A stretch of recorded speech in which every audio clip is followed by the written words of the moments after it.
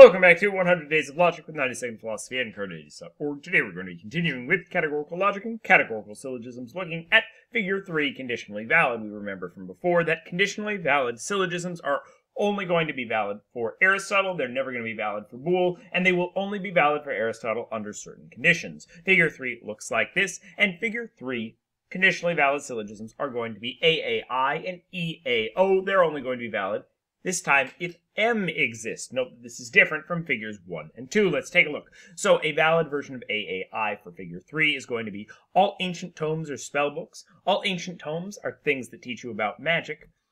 Therefore, some things that teach you magic are spell books. The only thing that needs to exist for this to be valid is ancient tomes. And because old books exist, this is going to be a valid argument, even though spell books and things that teach you magic may not exist.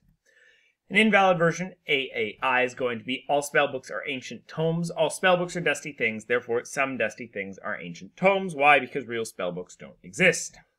A valid version of EAO is going to look like no energy drinks are potions. All energy drinks are things that give you wings. Therefore, some things that give you wings are not potions. You don't need potions or things that give you wings to exist for this to be valid. All you need to exist is energy drinks. And finally, invalid EAO, no potions or energy drinks. All potions are things that are in a cup. Therefore, some things that are in a cup are not energy drinks. This is invalid because even though energy drinks and things that are in a cup exist, the only thing that needed to exist was potions, and it doesn't exist.